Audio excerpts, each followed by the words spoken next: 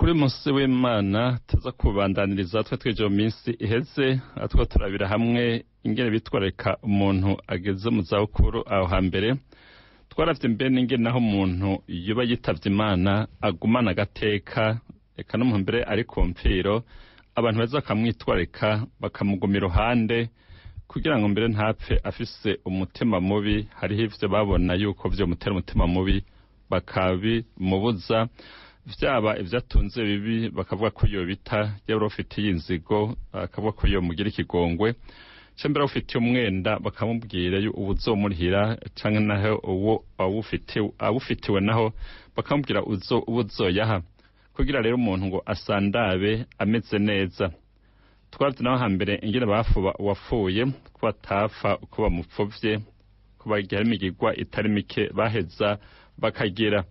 Eka twavye mbere n'ingene aho hambere uh, bagandara ko hambere mu kugandara navyo yuko uh, ko ku mugabo bagandara amaze iminsi itanu apfuye ku mugore naho bagandara ku munsi bagandara iminsi ine. Baheza bakaganduka baganda iminsi ine. Nabwiye ko rero ku hambere ababuze umuntu ko bataryama ku buriri kandi ko baca bimosha bose kwereka yuko ari umubabaro. None harimo amajambo amwamwe dukoresha ubu usanga tutazi aho yavuye inkomoko yayo. Arico gitomba yuko tubabwira kugira ngo muheze mubimenye. Turamuze nk'umuntu amaze iminsi yitavye imana bavuga ngo turamuca ku mazi. Baguca ku mazi hoho vyavuye he bigenda gute? Tuza kubirabira kandi ndababwira turabire hamwe ingene vyagenze. Iyo vyapfuye mu gihe rero bamaze kuruva ko umuntu yapfuye kuko hambere baruva ko kabiri. Ubwa mbere ni uguca ku mazi bavyita kandi ukwiyuhagira canke kwisuka ko ibirohe. N'ubu baruva ko kabiri mu bitabo gifaransa leve de deye partiel et leve de definitive kuvuga guca ku mazi hamwe no kuganduka. Bigomba gusa n'ivyaho hambere. Umunsi rero buca baca ku mazi ni ukuvuga ku mugoroba w'igihinga munsi barihanaguza ababuze umuntu bose. Ni ukuvuga hajya mu gaturuturu nk'isaha cumi zo mu gatondo bose barimwesha mu mutwe nzira wa mbere abapfire bose ni ukuvuga ababuze umuntu baja kwiyuhagira.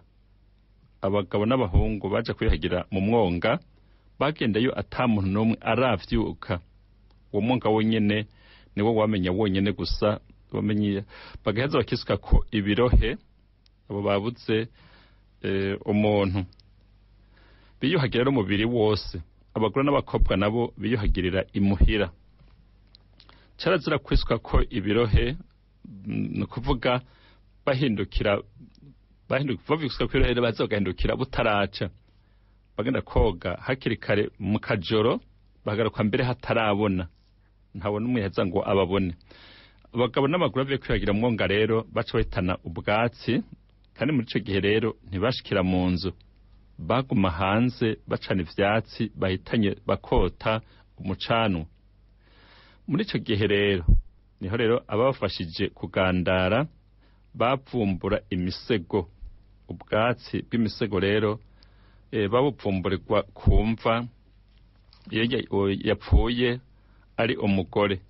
Kuvuga aho uwo mugore yahora aryama yahapfuye umugore ubwatsi yahora aryama ko bashasa bwisegure ciwe bareza rero bakaza bavumbura ni ukuvuga bakabukuraho bagaca bakabucira kuri iyo mva ni ho hapfuye mbere iki gitutsi usanga batuka abagore ngo urakavumburirwako ni igitutsi kibi igitutsi cyaho hambere bakoresha ngo urakavumburirwa no kuva bagututse ngo uragapfa hetse mbere aho wagiye mbere ubwatsi busukiye aho wahora uryama. Umva ni imvugo mbi y'aho hambere. Iyo nyine gupfa rero ari umugabo basohora ishiga ry'umugabo. Ni ishiga usanga riherera riherera hanze mu bwami. Ni ukuvuga ni nk'imbere y'iziko. Aho umugabo yakunda kwicara ariko arota umuriro. Mbere aho hambere basohora n'inkingi bihereranye. Cyangwa mbere n'ishiga naryo nyene bararikuraho naryo nyene bagashyiraho irindi hamwe mbere n'umwashi wayo witandira aryamako usanga urya mwashi nawe nyine barukuraho eka n'umukiza eka mbere n'umwaro w'uburiri umwaro w'uburiri usanga igiti gikitse ku mubari w'uburiri ku buriri bw'aho hambere bita ibitanda bamwe bamwe. Aho rero ni ho bita rero ngo umwaro w'umugabo. Kuva basohora rero n'icyo yahora arirako. Mu gihe cyo kuganda guca ku mazi ibyo byose barabisohora bakabishyira hanze. N'igikingi cy'irembo cy'iburyo eka mbere n'isunzu ry'inzu na byo baza bakabikurako. Iyo nyine gupfa rero ari umugore basohora ishiga ry'umugore umwaro w'umugore isunzu ry'ururenga rw'ikigega. Kuvuga ngo basohora ibintu bitari bike kumva yuko basohora ishiga ry'umugore aho yicara ariko arateye yicara ariko arateka nyine gupfa eka mbere naho yaherera mu kuryama giti cahera aho yaryama bagasaba mbere ni bavuze ngo ururenga rw'ikigega bavuga hariya hejuru usa mu gasongero bahanyine bagakurako kubera ko bavuga ati umugore ngo ni umunyabigega muri icyo gihe cyo guca ku mazi rero imigwa yose imaze kuba mu gitondo rero inka zacibwamwo amashu kuvuga inka barazigabura na zo nyine bazibikire bazereke yuko ari umugabo yapfuye bazereke ati ko sebuja yapfuye? Umwe yihariza izo ashora. Kuvuga umwe yashoye inka zimwe undi agashora izindi. Inka rero zishotse zikukira kuwo hakurya. Ni ukuvuga inka zivuye kunywa amazi zigiye kunywa amazi zajyana umusozi umwe izindi zikajyana uwundi. Ni ukuvuga ku musozi wo hakurya zigatondana ubwo ni ukuvuga zitaha rero zidasubije aho zashoke ku musozi zashokeyeko. Kugira ngo n'inka bazibikire ko sebuja yapfuye umusozi zajako zigiye kunywa amazi si wo zacako zivuye kunywa amazi. Umuntu wese wo mu bashoye inka yahitana ibicaniro byo gushika acana igicaniro cy'inka muri nyamwonga rero bahitana ubuhoro bwo kujisha injishi y'inka y'amata canke inkono y'amata y'isuka. Kuvuga yuko bari baca bahitana ubwatsi bajishamwo injishi y'inka babuhesha inka. Mbega bazatambere n'inkono y'amata bashyiramo amata umushinga ntayo rero. Yasigaye imuhira ni we arahurira igicaniro nk'uko bigenda ku wagabanye ni ukuvuga yuko rero bagiye baturikije rero izo nka zikaza no kunywa amazi hari umushikana yasigara imuhira rero nabihetse rero agacana igicaniro agaheza akakira abaturukije izo nka mu cyo gihe rero hakeye nko ku murango muri icyo gihe baca ku mazi bakanywa amata bagaheza bagakuka amase bamaze iminsi badakuka barunze kigunguzi mu rugo. Ni ukuvuga yuko muri icyo gihe ababuze umuntu ntibakuka amase batareza ngo bace ku mazi. Kandi icyo gihe banywa amata nyine banywa amata tuzi bavuga ngo ngo tuzonywa amata kwa naka. Ijambo ryapfuye mvuga nawe hambere banywa amata. Icyo gihe rero hari umuntu bakuze afite abakazana icyo gihe rero bakazana baheza bagaterera amata bari barabitse mu gisuku kuko ntibanywa amata bagandaye. Bagandaye ntibanywa amata. Icyo bakora gusa barayakama bakaza barashyira mu bisuku gusa akuzura. Icyo gihe rero abakazana hashobora badafite abakazana hacatera abakobwa bahari cyangwa abagore bagaterera kugira ngo rero baheze batere amata baba barasutse bari menshi cyane ayo mata rero bayaha rero bavuga ko bayaha umuhotokazi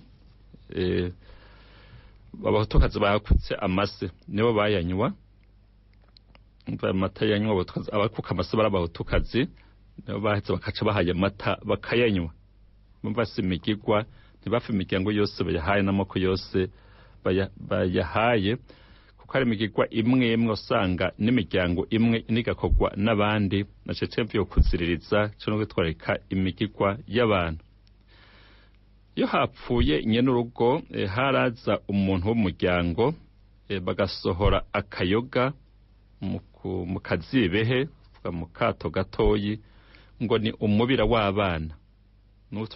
Tuhora tubibona iyo nk'abana babutse umuntu babutse umubyeyi wabo yuko barababaha inzoga cyangwa bakabaha inzoga kubera usanga ta mata usanga ahari kubabikurikiza neza mu gikorwa barabikora n'ubu. Basore rero utuyoga dukeyi mu mu kazihe mu kazihe mu kazihebe kuvuga mu mubira w'abana. Uno muntu rero akakira akato akagerera ko umugore akamufatira ku munwa. Bacaza umuryango bagaha umugore akanywa umupfakazi bakamubuza ku munwa agaheza akanywa uyu mubira. Agaha umwana mukuru akaguma rero akaguma rero abakurikira. Akaguma abakurikiranya uko bagenda barutana ahereye ku mukuru gushika ku mutoyi. Umukobwa rero amaze gusohoka yagumirizwa n'umugabo wiwe. Bahejeje kunywa imibira baravuga ijambo ryo guhana indagano zaho rero bazomarirwa. Kuva kuganduka bagaca rero batumanako reka n'inshuti zose zigakorana zose zigaheza zigahuriraho kuri urwo rubanza. Kandi rero mu gihe hambere baravyubahiriza no nk'uko abenshi bavyubahiriza ikintu c'ukuganduka arico co kumarirwa abantu benshi baraza ikano baraza turamaze kubona abantu bafise imanza nyinshi zo kumarirwa zo kuganduka kuri kanaka kuko bubone kumusezera ubwa nyuma turi ku benshi bazitaba n'ubu usanga benshi ariko barazimara hirya no hino. Naho hambere baravyitaba n'uwo mugenzo mwiza wo gumuhari wo gusezera abacu bitavye imana kuza kumarira ariko kuganduka. Ariko na cane cane two kwibuka abantu gusa bamaze gupfa tubona bigikomeye ari mu bitaro bakamwitwara kumuraba kuyo bitwareka imanza izi na ziriya. Muri icyo gihe rero ari umugore yabuze umugabo bamaze guca ku mazi bahejeje. Yaraheza rero yaravuga ijambo iyo abana b'abahungu bakiri batoyi. Yarashobora kuvuga ati twabaye imfubyi mwa muryango. Ati nimwe bene abana murabaraba bakure. Ati na cyo musigaye ndabwa namwe. Ubu uzoza kundira mu bana nimwe muzomuraba na cyane cyane ubu ntaramarirwa muba muramfasha mukampoza amarira y'umuntu wanje ari we wanyu mukampa kavi avuga ati nako ukumarirwa ni ukwezi kunaka. Ati mwaba mwiteguye kandi nzobibutsa. Yaretse akaramutsa ntiyavuga n'amajambo menshi gusa ko ari ukubwira umuryango bagomba bamufasha bagomba bamwitwararika kuko uwo yabuze nawe nyine ari uwabo.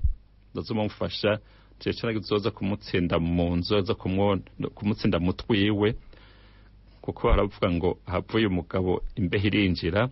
Usanga rero kubera hapfuye umugabo usanga habaye abaza ku korona ivyiwe gusa n'amatungo barayanyatse.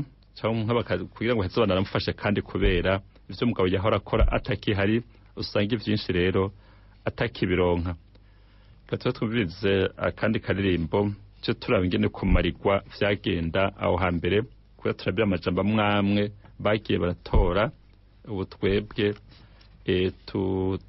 tutagikoresha. Cyangwa se tuyakoresha tutazi iyo yavuye nko guca ku mazi canke kunywa amata tutari tuzi iyo vyavuye. Reka turabire hamwe rero ukubarirwa aho hambere ngene vyagenda. Bwa impuzu bita imarirano. Imarirano rero ni impuzu y'igiterano kuvaza impuzu y'igiti impuzu y'igiterano itazize imenyesha urubi. Ukuvuga imenyesha ibintu bibi ibintu bibabaje. Mu kwambara rero imarirano babanza kwiraba ingwa y'ivyansi ni ukuvuga no kuyiraba icumu rya nyene gupfa. Ni ukuvuga yuko rero mu kumarirwa baretse bakisi kwiraba ingwa no kuvuga ni ingwa bisiga babasanga ingwa basanga bimba mu gihomoka tuvuze ingwa nk'abanyeshuri cyangwa baziye bandikisha mu ishuri habe namba. Ingwa basanga bakoresha aho hambere mu korora nk'amazu n'ibindi usanga yera niba heza bakisiga mu maso bigaza bakisiga mbere iyo ngwa n'icumu rya nyene gupfa iyo ari umugabo. Imarino rero yabwirizwa kuba ubwoko bwo mu manda. Mu manda ni ukuvuga muri bya biti by'imana ibiti by'imana imarino rero ntiyaterwa amabara ntizigwa. Kuvuga ntibayiterekwa amabara kandi ntibayisiga kugira ngo uheze inonoke. Bayikora mu gatondo nyine bayikora muri ako gatondo nyine gusa. Ubutanga imarirano ni se w'imfubyi canke muvyara w'umuhisi. Ubanzirizwa ku kuva ubatangura guha iyo mu kwambara iyo marirano ni umupfakazi. Ubanza guha iyo mpuzu akayambara. Hagakurikira umuhungu mukuru agakurikirwa agakurikira ko bagenda bakurikirana mu mavuka mu mavuka b'abahungu abakobwa mugabo rero baza mu nyuma. Nabo nyine bakaza rero ko bakurikirana nabo nyine bahereye ku muto gushika ku mutoyi barabahaye iyo marirano iyo mpuzu y'igiti bakoze mu gatondo itabanje kuzigwa. Mu gihe rero umwana atakiriho nk'umwana atari hafi nk'ahandi iyo marirano barayimubikira. Mugabo rero umukobwa w'umuhisi iyo afise inda canke umugore w'umuhisi iyo yibungenze rero rero umugore wese iyo afisa inda ni ikizira ntiyambara imarirano kuvuga icyo gihe yamara rero bamuhereza akaremo kayo gaheza kakagumya akanya gatoyi gusa.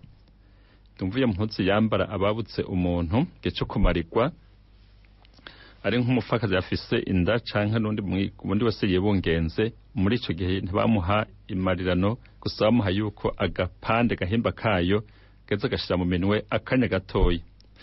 Umupfakazi rero ntiyambara imarirano ku mugabo wiwe iyo apfuye batavyaranye bivuga yuko umugore yapfaka rero batavyaranye n'umugabo ntiyambara imarirano. Mugabo avuga yuko mu miryango imwe imwe avuga ko ngo abahutu ngo bashobora kuyambara bashobora guhabwa imarirano. Hanyuma imarirano y'uwapfuye babuze umuntu abato barayambara ko abandi bobo ngo ntibaheze ngo bayambare. Ariko rero baca babapfukanisha n'izo mpfuvyi. Kuvuga rero bagaheza bakazishira hamwe bakazumvikanisha kugira ngo naho babuze umuntu babuze umuvyeyi bazogume bumvikana bazogume bakundana basize hamwe. E, carazira kwambara imararano mu kwezi kwa gwirabura ku kwezi kwa gwirabura rero kuko e, kwari ukwezi uburundi bwaboneramwo amahano menshi.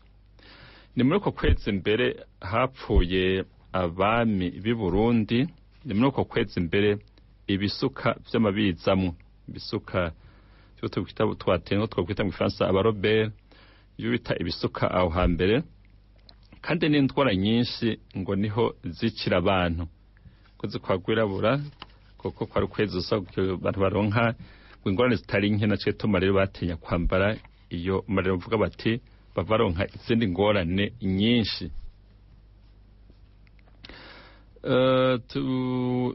Iyo bamarirwa ku mugabo atunze asize abahungu umuhungu mukuru yashora inka mu gitondo ca kare bakamuha icumu rya se akaritwara ku rutugu arifatanije mbere n'inkoni ayoboza akaja imbere y'inka. Zahodoka rero agashika yuhira ngo barazibikiye ko shebuja yapfuye. Kuvuga inka bagiye kuziha amazi zivuye kunywa amazi avuga zihodotse bashika rero bazuhira bavuye ko bazibikiye ko sebuja yapfuye. Bavuga yuko rero ngo batazibikiye shebuja ngo zirapfa zigashira. Ngo zaririye shebuja. Batazibikiye rero ko shebuja yapfuye mvuga ngo zaca zipfa zigahona. Barahamagara mbere umuntu w'umuryango atagira inzigo umwe babona mbere atazoshavura ngo ahave avuma abana agakama. Kuko iyo abapfumye rero yarabakamiye akabahera amata e, ku biganza yarabakoza bagapfa. Kuva ayo mata ngo yaca bica ahejeje kukama rero agenda wenyine kubaha amata mbere baza hanze bakabwira umuntu mukuru yatanguye kugabana akaja guca igitogo c'igikashi agaheza akacotsa mu gicaniro akagiha abana na nyina bakagishirako umunyu bakagisomeza ya mata baraheza mbere bagaterura inzoga bita amata nyene ibyo bita amata. Nyene bagaheza bakayinywa amata rero yanyobwa n'abana be n'umugore. Nyina wabo no kuvuga baheza bakayanywa. Umuryango rero ugaheza ukabahagarikira. Turamaze kubona n'ubu kubabigera neza. Iyo hari umupfakazi ahari ku munsi wo kumarigwa ku munsi wo kuruvako barabaha inzoga bakanywa bamugomereje n'abana bakabahako. Bariko barigana umugenzo w'aho hambere. Ni ukuvuga rero ivyo bari bararetse rero kurya vyose uyo munsi baraheza bakabirya. Nka kurya rero tumaze kubona ibikorwa bimwe bimwe bahagarika iyo babuze umuntu ariko iyo bamaze kumarigwa bamaze kuganduka ibyo bikorwa biraheza bigasubira. Kunywa amata rero guheze bagaterura rusha rw'abarundi ni ukuvuga inzoga z'igihugu z'umuvumbo bakazigera izinyobwa ingene zingana. Ni ukuvuga bagira inzoga zinyobwa ingene zingana reka mbere z'abavumvyi we twita abazanywe n'irembo nabo nyene bagaheza bakabahako. Baheza bakagwiza imibare kuvuga imyanya abantu bicayemwo bagaheza bakabose bakabakwiza bakanywa. Abajyango rero e, bakabanza kunywa. Impanga y'amata rero bayikamije bagaheza bagahamagara ca gihugu caje kuvumba. Ni kuvuga abantu bari ku irembo bavuga baje kuvumba rero twita ubu bazanywe n'irembo bakabaterura impange zabo e, babanje rero kubabwira ijambo bamarigwa. Kuvuga bazanywe n'irembo e, babaha inzoga babanje kumviriza ijambo. Ariko nahoze kenshi kuba barikeneye ijambo cece bakeneye utuyoga. Bagatereka rero bakuhiriza zikamye mbere bagakoranya abari aho bose n'abagore. Hakaza bano bamarigwa bambaye imarirano. Umukobwa yasohotse ni we atambara imarirano. E, bagatangura kuvuga amajambo. Umuntu yatowe mu muryango agahagarikira impfuvyi aratangura yaravuga ijambo ati yavuga ijambo mugabo amajambo yashobora kuba menshi. Yashobora kuvuga ati uyu munsi twaje kumarira bene naka. None ubwo bafise icyo yagiye uwo bafise icyo yamuririye nk'umwenda nk'inka nk'itongo napfukire ngaha. Ubutavuga ntaco azoba aheraniwe. Hari uwuheraniwe rero akavuga. Abagavye rero batokorewe ababikije umuhutu atagabanyere mu muhango ab'imyenda bahejeje bagasubira hagasubirayo abakwe. Ari uwurondera igiseke aburana ubumwe uri uwakoye atararongoranywa ari nk'umukobwa yagabanye inka atarayitwara umukwe atakoye avuze baca bamuburanya bakamubwira ko atari umukwe ngo ni igisuma kigenda ijoro. Kuvuga rero uba utakoye rero nta jambo baheza ngo bamuhe kuvuga ko bari igisuma c'ijoro reka mbere bagahakana no kumuramutsa atakoye. Abo bose rero bagejeje kuvuga rero bagasubizayo agasubizayo rero ya hagasubirayo umuhungu nyene kubura se ageze akishyura amajambo akavuga mbere abaheraniye se akavuga uwuheraniwe n'uwubesha yamaze kwishurwa amajambo yaheza akavuga. Nuko abakunzi ba radiyo mariya burundi ijwi ry'imana iwanyu kino c'akaranga k'uburundi nabateguriye kigarukiye ngako kanyandika dukundi ko tuheza ngo tubandanye mu kanya tuba tubashikirize ibindi bibandanye kiganiro muheje kugishikirizwa na jo alexis kabako bwa radio mariya burundi n'ubu tubona niyo yitwa diane adufashe kugira ngo amajwi abashikire